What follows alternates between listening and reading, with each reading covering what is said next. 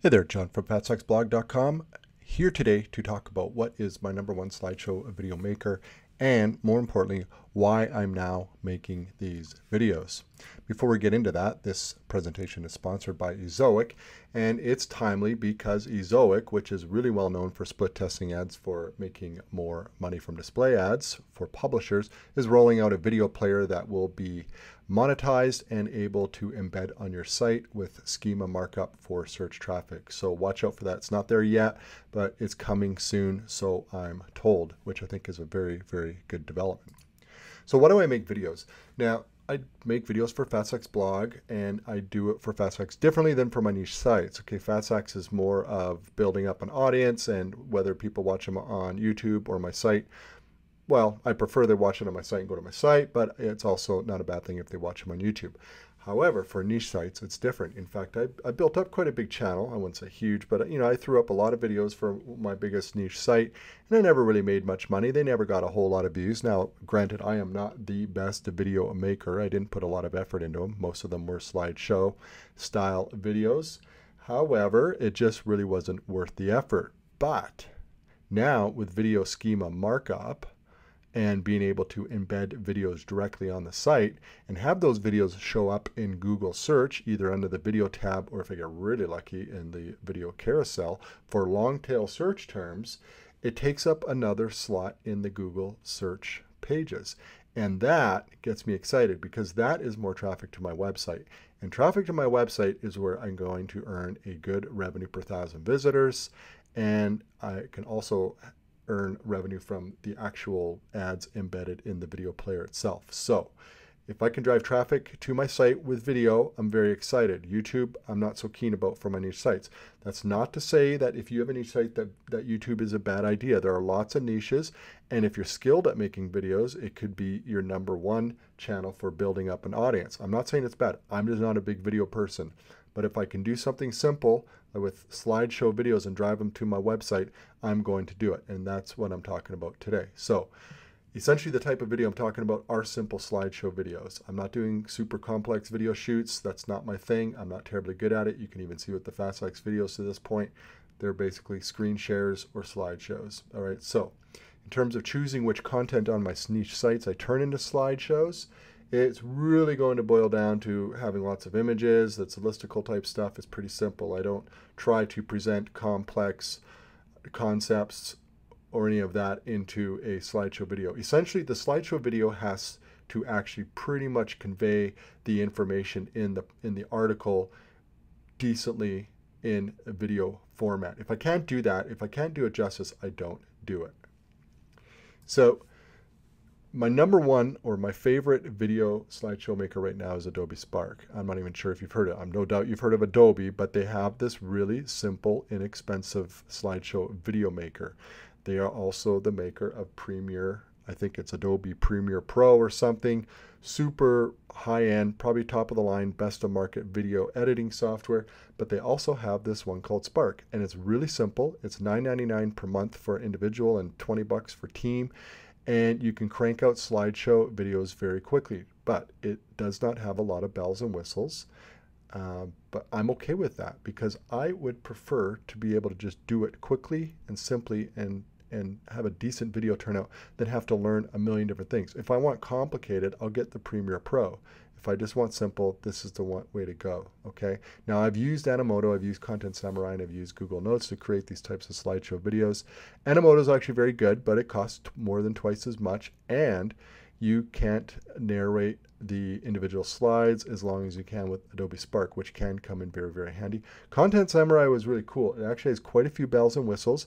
I think the claim to fame there is it will actually do a, I guess, a computerized narration of text you input.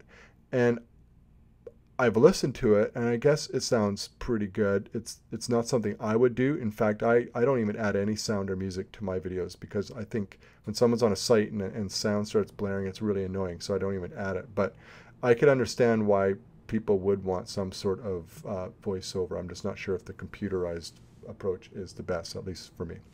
So let's take a look at the back end of Adobe Spark and you can you can see it for yourself. You can see how simple, but also how quick and easy it is to use. Okay, we are in the back end of a, Adobe Spark, and I'm going to give you a quick run through of how this works. You just bring, you, you open up a number of slides that you need. You can create more. You have an automatic outro that you can use in format. When you set up your account, you can upload your logo so your branding will show up by default in these, but you can also turn it off. You can see here I could have a logo here show up. I usually don't because the captions tend to overlap. So if you're on the home the title slide here. You could add text if you like, like that. And you can choose whether it's just a, a, full screen or a caption or just the title and text or split screen. I'll show you each of those. This would be the caption type. You can move this around to into different parts of the screen. And I use these captions a lot on, on not just the title slides, but um, slides throughout videos. You can also narrate over a particular slide. So if you wanted to describe or talk about this, you could just click here and narrate into it, and then you'd stop it and move to the next slide. That's actually a very, very handy feature if you're doing sort of listicles and you want to describe what's being viewed and so forth. That's a, that's a very nice feature. Now, in, in, to bring in images is very, very simple. You just drag over an image like that, and you add your text or icon, and then once you've done that, you can choose what type of format you want. Here on the side, I almost always do captions. However, if you wanted to do a split screen, you could do this. So if you had two images you want to put side by side or an image with text, you can do that. You can reverse it like this. And if this isn't quite in the view that you like, you can drag that around like that and then you can either add text on this side or you can drag in another image or perhaps even video and of course adjust that. At the end you have a credit slide. I don't really use that. I just make up my own if credits are necessary. You have a, and a call to action if you need it. I typically use that. You have a lot of music options. I tend to have music turned off, but you do have included stock music tracks that you can add. You can adjust the time of every slide right here. I usually go anywhere from two if it's just an image up to four if there's image with text. I don't like them longer than that, they get really boring. And that is about it. Once you are done with your video, you can adjust these slides around anyway like that. One beef I have with the software is I can't just drag in 20 slides and load them up and then put them in. It's one by one, slide by slide, which I don't really like that much about it. However, uh, some nice positives would be that everything is saved automatically, so I don't have to really worry about saving. It's always in there. Uh, I definitely love this record, record audio option. And uh, as you can see, it's very, very simple and very, very quick uh, and easy. And you download right here when it's done. And if you want to resize it, you can as well. We're doing the widescreen, but you can also make square. I really wish they had the vertical for Pinterest, but they don't. So I just post square videos to Pinterest if I'm going to do that. That pretty much wraps up showing you all the features you get with Adobe Spark. Very simple. Don't expect a lot of bells and whistles, but a lot of times when it comes to software, I, I actually would prefer simple. I don't need a lot. I mean, a slideshow is a slideshow is a slideshow. Sure, I can't change all the text and make it look all, all as nice as I want with a million different custom fonts.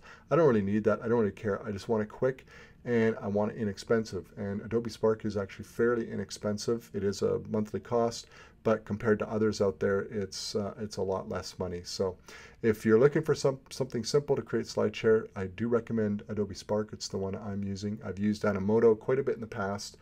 Animoto has a limited narration duration here for their slides, which I don't like. They have other limitations, but I would say overall Animoto is pretty sweet. It's pretty fast. It's pretty easy.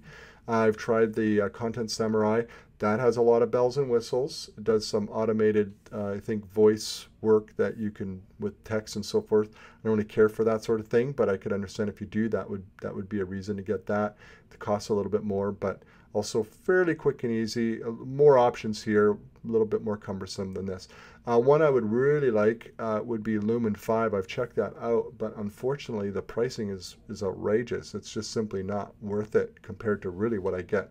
I think I pay, I'm not even sure what I pay for Adobe Spark, but I know it's not more than 20 bucks a month, and that's quite a bit less than most of the others on the market. Thanks for watching.